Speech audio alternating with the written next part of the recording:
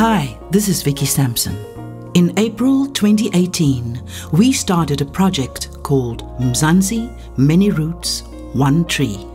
It involves the development of 46 talented young entertainers from throughout the Western Cape region, mainly from disadvantaged communities.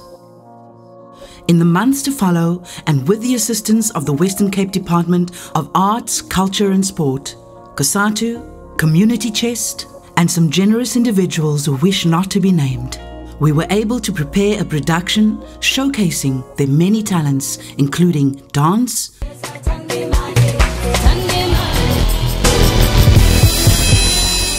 singing, Have I told you? and rapping.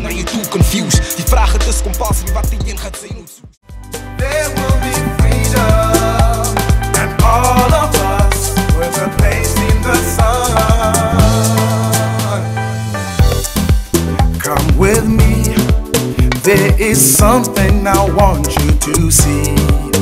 A reminder from humanity how the weakest still seem to survive. And then came the moment of truth. With the amazing assistance from Artscape Cape Town, on the 1st of November 2018, the show went live to a packed audience.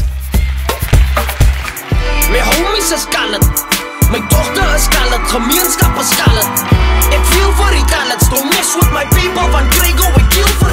And the dream that was Mzansi, Many Roots One Tree, became a living reality.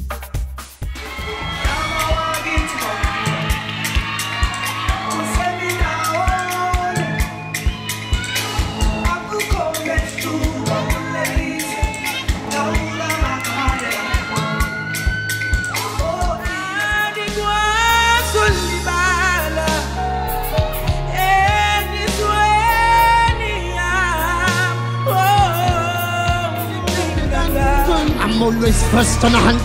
Heart frozen, call me cold front. It's not moving, it's letting punches do the beating. Cause I'm wax this week with raps that applique. Some speak about pen and music for years, but they ain't never got a speak. I know when tomorrow. Projects like these are impossible to conceive nor sustain without the generous funding of corporates, institutions, and individuals.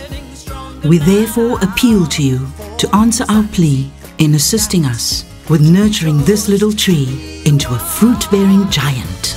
One land, one cry, one truth, one lie. It's the calling of our nation's cry.